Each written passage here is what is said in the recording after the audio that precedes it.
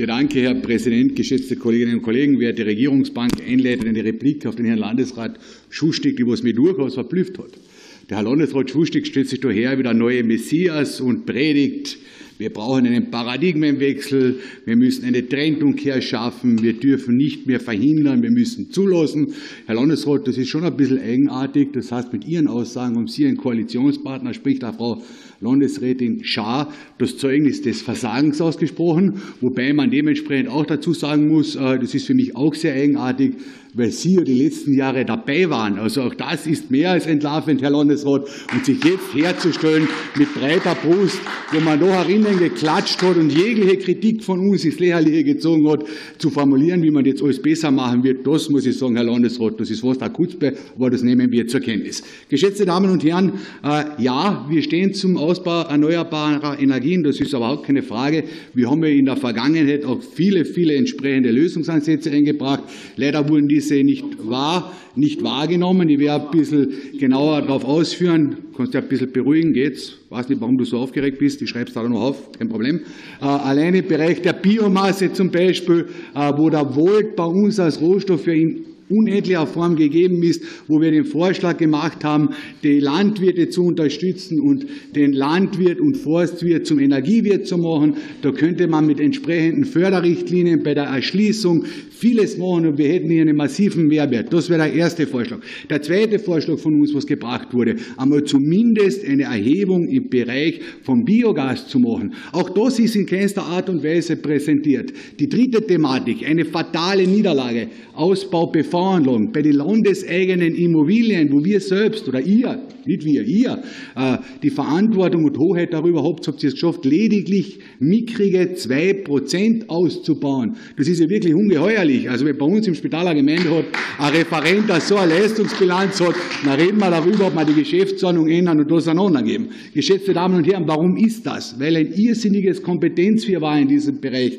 herrscht und da müssen wir schneller in die Umsetzung kommen. Wasserkraft. Über 100 Anlagen liegen in den Schubladen des Landes Kärnten, die sind nicht bearbeitet. Und das sage nicht ich, sondern da war ich bei der Wirtschaftskammer äh, bei einem Stammtisch, ich rede jetzt einmal mit dem Kollegen Aste, wie da die Art und Weise der Abarbeitung funktioniert. Ja, Herr Landesrat, da muss man Fort aufnehmen. Nicht nur gescheit reden, sondern in Ihrer jetzigen Tätigkeit die Rahmenbedingungen dafür schaffen, dass diese Projekte dann auch in Umsetzung kommen.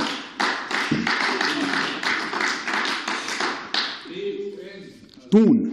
Geschätzte Damen und Herren, die Strompreise explodieren. Die Leute wissen draußen nicht mehr, wie sie mit ihren Einkommen auskommen sollen. Die Wirtschaft leidet massiv darunter und Sie verteidigen das darin, wie die Frau Schaunig und bereits meine Vorredner auch ausgeführt haben, dass das ja eh alles legitim ist. Das ist in keinster Art und Weise legitim und wir nehmen das auch in dieser Form nicht zur Kenntnis und wir werden alles tun, uns auch hier schützend vor die Kärntner Bevölkerung zu stellen, während ihr die Konzerne vertretet. Ihr seid die Lobbyisten der Konzerne, die Milliardengewinne Gewinne machen auf Kosten der Kärntner Bevölkerung. Geschätzte Damen und Herren, wir kommen jetzt weiter. Die KELAG-Vorstände haben wir bereits hier im Ausschuss ausgeführt. Es sind riesige Investitionen in das Leitungsnetz notwendig.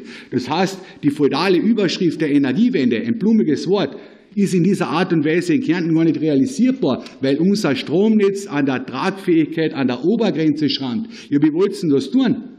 Dann müsst ihr aber die Leute ehrlich erklären, was das für die Leute heißt, wenn man jetzt diese Energiewende umsetzt. Weil das wird über die Netzgebühren wieder rückverrechnet. Und bei den Netzgebühren haben wir die teuersten in Kärnten. Und das wird den Strompreis weiter massiv vorantreiben. Das wird die Teuerung weiter massiv vorantreiben. Und ihr schlaft nach wie vor in der Pendeluhr und tut ja ringscheit reden, anstatt endlich einmal in die Handlung kommt und dann mal dafür Sorge tragt, dass wir österreichweit endlich die Netzgebühren haben. Das wäre eigentlich der Auftrag an die Kärntner Landesregierung, geschätzte Damen und Herren. Und nun zu den Windrädern. Die Freiheitliche Partei hat als einzige Partei eine klare Position. Keine Windräder auf Kärntens Bergen. Der Aufwand zum Ertrag ist nicht gegeben. Ihr zerstört damit unsere Natur.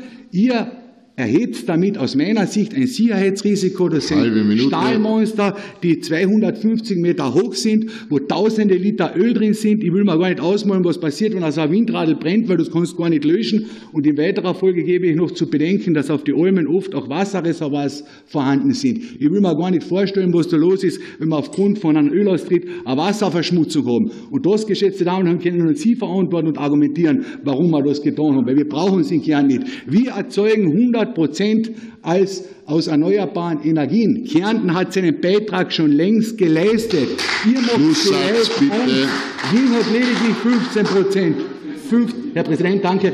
Wien hat lediglich 15 Prozent geleistet. Im Bericht von Agrogewies war nachzulesen. Deswegen, Schlusssatz, Herr Präsident, sorgen Sie endlich für einen günstigen und fairen Strompreis für die Kärntner Bevölkerung und hören Sie auf mit Ihrer feudalen Ankündigungspolitik. Ich danke für die Aufmerksamkeit.